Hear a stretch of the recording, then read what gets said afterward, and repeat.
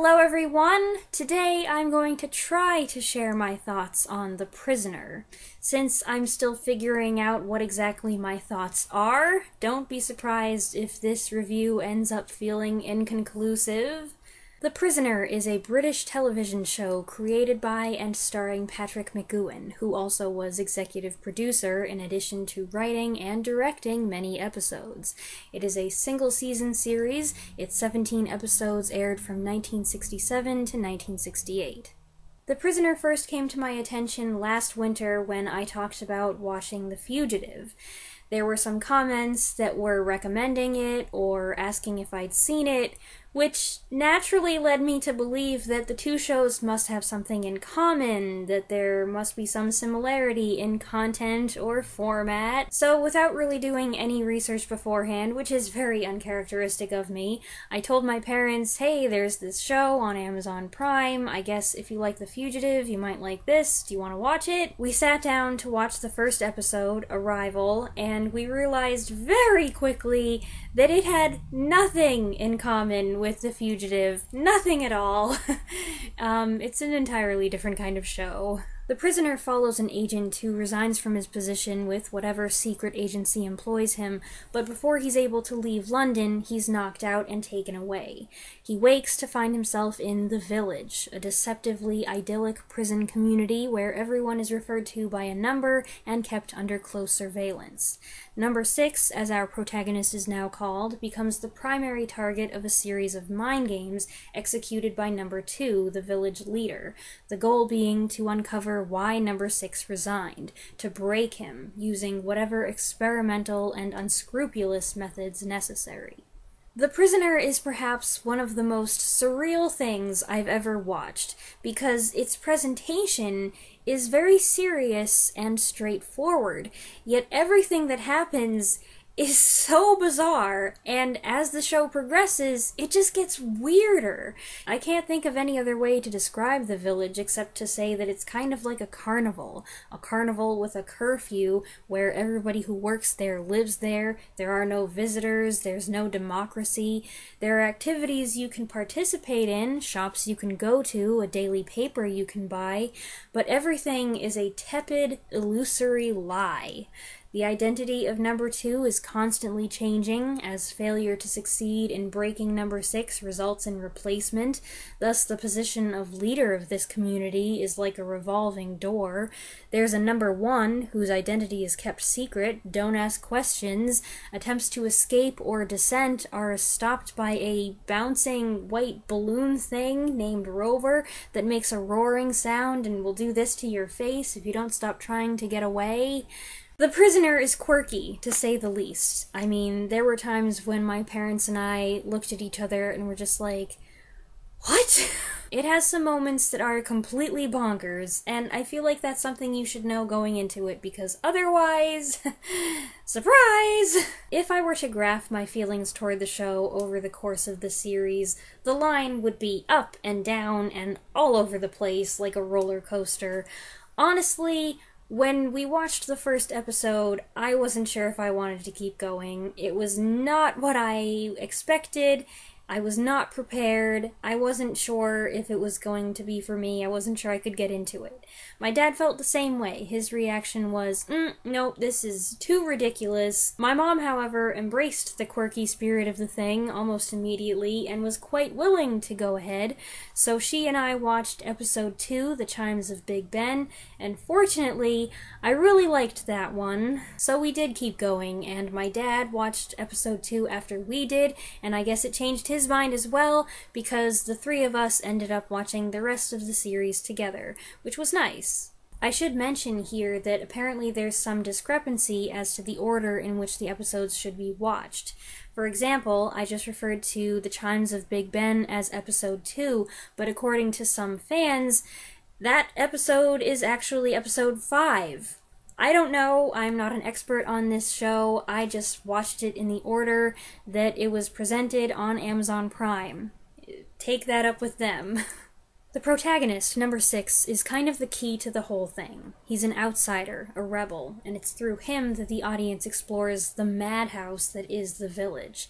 His reactions are often our reactions, which is satisfying. He is the one rational, free thinking individual in the whole thing, unafraid to buck the system and speak his mind. That said, whether it's the character of number six or Patrick McGoohan's own mannerisms, I don't know he can be pretty odd himself at times, and that makes things even trickier when it's like, okay, everybody else is acting strangely, clearly, but he's not 100% himself. I like number six best when we see him going with the flow, acting as cool as a cucumber no matter what they throw at him, no matter what bizarre new scenario he's presented with. He makes a quick study of village customs and masters them to his own advantage. He obliges their society by fitting in, albeit with more than a hint of mockery. He's clever and resourceful, but he can also be charming and congenial, even if it's just an act. The prisoner feels like it's making a statement, but what exactly that statement is, is kind of left up to interpretation. Is it a satire of the senseless rules and regulations imposed on a weak willed community by a power hungry government? Is it making a declaration against the invasion of privacy and personal autonomy for the advancement of so called security? Is it mocking society's love of conformity over individualism? Is it something else? Or is it all of these things? I especially liked the storylines where number six had strong characters to interact with, and there was a certain patter to the dialogue and the editing, and the drive and escalation encouraged me to embrace the kookiness. Other highlights include the fun theme music written by Ron Grainer, finding out who the new number two was in every episode, and the times when number six would deliver a particularly good zinger. I came to love the butler, played by Angelo Muscat, one of a small group of recurring characters, and I even sometimes enjoyed the feeling of total confusion, like when in the second half of the season they suddenly started changing up the opening sequence so that right off the bat you were disoriented. There were some things I didn't like, though, and if I'm being completely honest, which I should be, it probably works out to about half and half. Half the episodes I really liked, the other half I felt like, eh, I could take it or leave it. There seems to be a general consensus out there that the quality of the show went downhill in the last half dozen episodes or so. I do think there's some truth to that. The two episodes I liked the least were among the final six. I didn't really like Do Not Forsake Me, Oh My Darling, where number six's mind is transferred to another man's body. The episode ended up being kind of dull and used an awful lot of stock footage from earlier in the show and Living in Harmony, which I guess a lot of people don't care for. I actually thought the setup was intriguing. It's a Western show now? Okay. But while the idea was cool, what they did with it wasn't so interesting, and I couldn't stand the annoying antagonist. The Girl Who Was Death also partly falls into that category. I hated the first half. The girl's irritating, and the cat and mouse game became tedious. But then the second half was a ton of fun. I ended up loving the last 15 to 20 minutes. So I didn't like every episode equally, but the ones I liked, I liked a lot. My favorite episodes of the show included The Chimes of Big Ben, where number 6 teams up with the new number 8 to try to escape. This one features Leo McKern's charismatic number 2. Hammer into Anvil, where number 6 executes a brilliant plan to get revenge on a sadistic number 2. It's Your Funeral, which involves an assassination plot against number 2. Checkmate, where number 6 tries to assemble a team and proves too smart for his own good, and the last two episodes, which go hand in hand Once Upon a Time and Fallout. I'd heard some things about the ending, mainly that some people found it too weird and too surreal and unsatisfying, so I thought there was a good chance that I might not like it, but I also tried to keep my expectations minimal. I've gotta say though, considering what I'd heard and what I'd feared, I thought it was a decent conclusion. Totally wacky and random, but very fun. The last episode attains a whole new level of unrestricted craziness, and when it was over, I didn't know what exactly to think, but I definitely didn't hate it.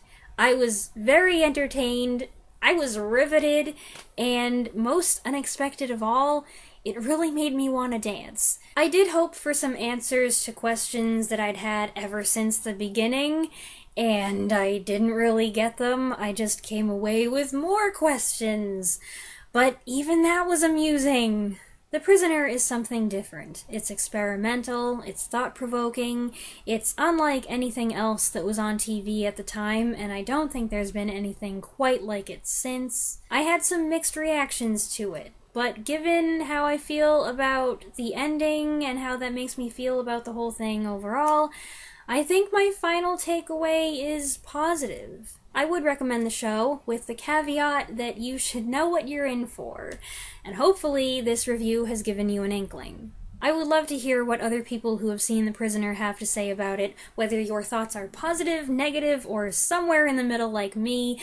So you're welcome to share your own thoughts in the comments below. I look forward to reading them, and I will be back soon with more reviews. Thanks for watching. Be seeing you!